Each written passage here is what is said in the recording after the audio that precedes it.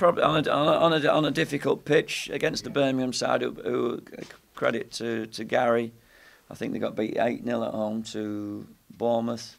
And since then, he's decided to, defend deep and play compact and probably on the break. But that's the way he set his team up. But it's up to us to break us down. And probably our only really bit of quality in the first half was um, Jacques Maghoma's chance, which was a great bit of play.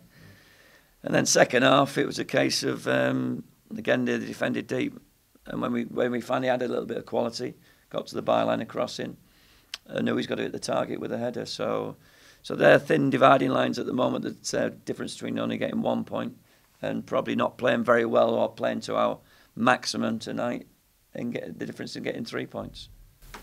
Is the pitch having an effect on the players? Does Gary think it might be? Uh, well, well, the pitch isn't the best, but it's, it's the same for both teams. But we have to learn and realise we have to play a style of play. But uh, hey, I want to play through the thirds. I want to I want to get the ball down and play. But sometimes, unfortunately for for, for players, it, they're having they're tensing up because because the ball's bouncing all over the place.